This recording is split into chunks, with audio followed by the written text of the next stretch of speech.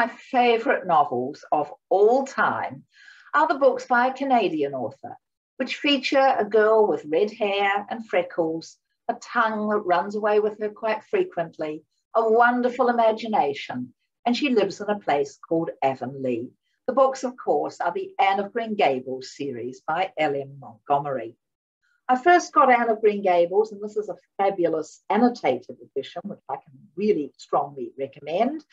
Uh, it was read to me by my mother. From that time on, she gave me Anne books when it was birthday or Christmas. I read them, I reread them, I reread them again. I finally got to see Prince Edward Island, which was an intensely emotional experience for me, and I still reread the books fairly frequently. This is my really old copy, my much loved and very battered copy of Anne of Green Gables. The cover sort of collapsed, so I stuck it in the front of the book because it still brought back lovely memories and I didn't want to lose the cover. I think what I learned from Anne of Green Gables was that it was actually all right to adore books, quote poetry, to fall in love with the natural world, to have imagination and to use it. And I learned so many lessons from reading Anne of Green Gables, reading it again and again and again. Gilbert Blythe was my very first love affair. I am still deeply in love with Gilbert Blythe, and the moment when finally Anne gets to marry Gilbert remains one of my favourite literary moments of all time. Anne of Green Gables was published in 1908, so it's well over 100 years old. Montgomery was a very keen writer and she'd been trying her hand at stories.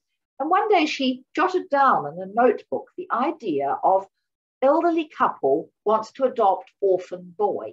By a mistake, a girl is sent to them. She noted about a year or so later that that was maybe a good idea for a novel, not just for a story. And she sat down and she wrote Anne of Green Gables, probably the most famous Canadian novel ever published. And it made her famous.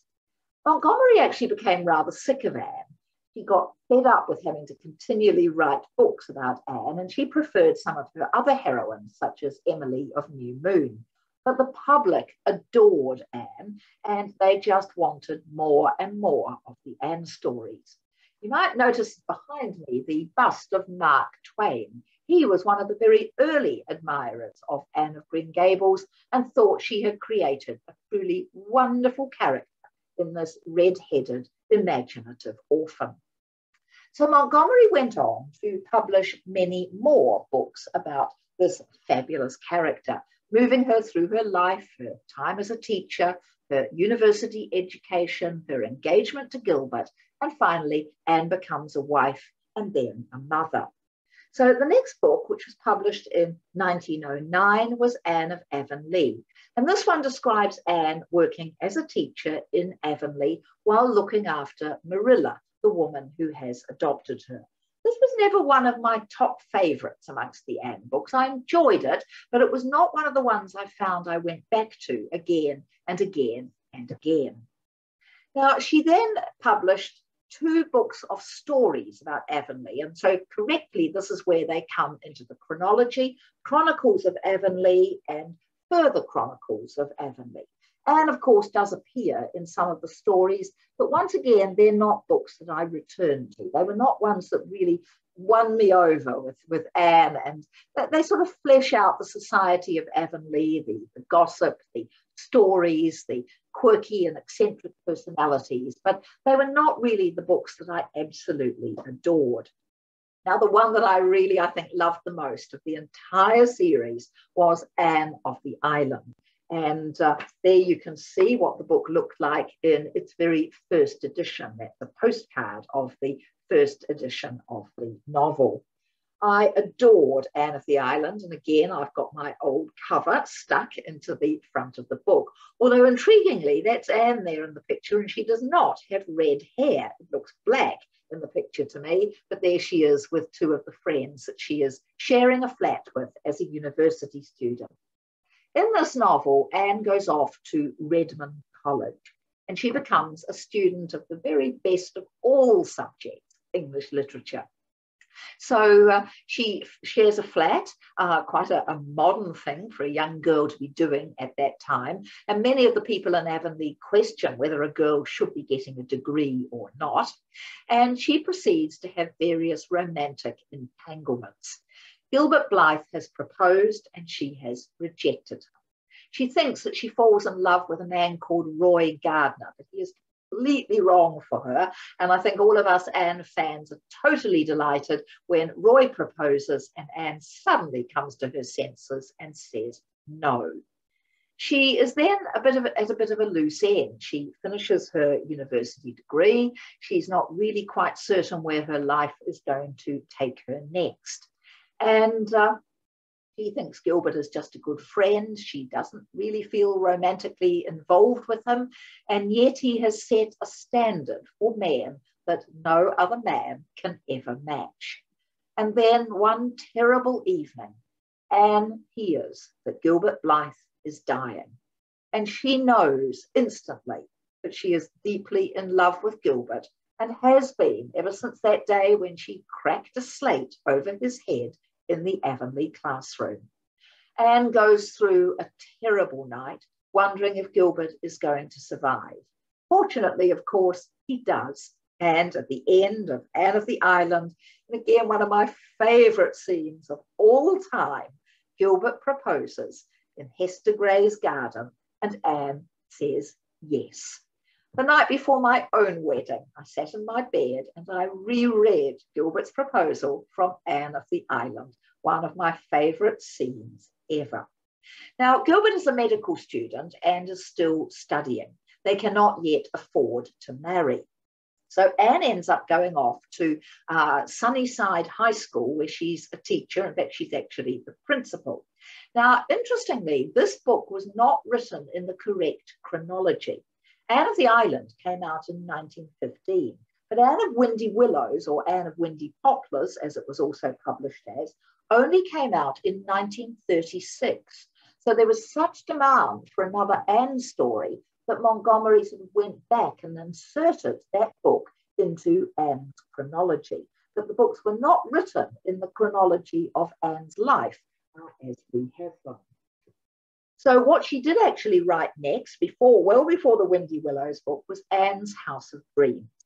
At the beginning of this novel, Anne comes down the stairs of Green Gables as a beautiful bride, and Gilbert is waiting there, absolutely thrilled at the bottom of the stairs. And they get married and they go off to live in the little place where he has been offered a job as a doctor. Anne has her first baby, which tragically dies.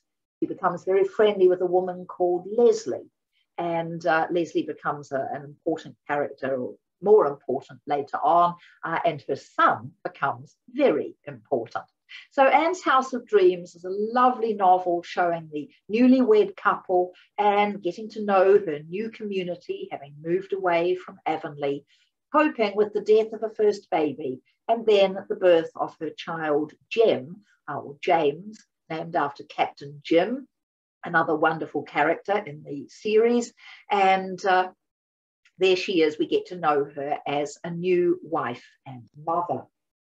Now, again, later on in Montgomery's life, when she was getting so many requests from her public to write more Anne books, she ended up writing Anne of Ingleside. So this one was her actually her last Anne book that she wrote, and it was published in 1939.